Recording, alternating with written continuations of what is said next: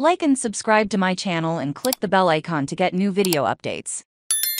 Dominic Thiem vs Facundo Bagnis live stream in Tipsworth Bagnis at the Croatia Open. Dominic Thiem has lost five of his last six games and seems unable to return to his best form. The value lies with Facundo Bagnis in the first round of the Croatia Open. Dominic Thiem is up 13 to 21 this year and is still struggling after suffering a wrist injury. The 29-year-old reached the quarterfinals in Estoril in Munich, but has mostly competed in the challenger circuit. The Austrian competed in Gstaad last week and lost in the second round, 7-5-2-6-6-3 against World No Watch, Dominic Thiem vs Facundo Bagnis, in the first round of the Croatia Open, 2023 on Monday 24 July. Dominic Thiem has lost five of his last six games, and is far from his best form. The value lies in Facundo Bagnis winning in three sets in the first round of the Croatia Open. Sign up with bonus code NEWBINUS, wager $1 and get $200 bonus bets at BET365. Deposit required. Winnings from bonus bets are added to the bonus bet balance.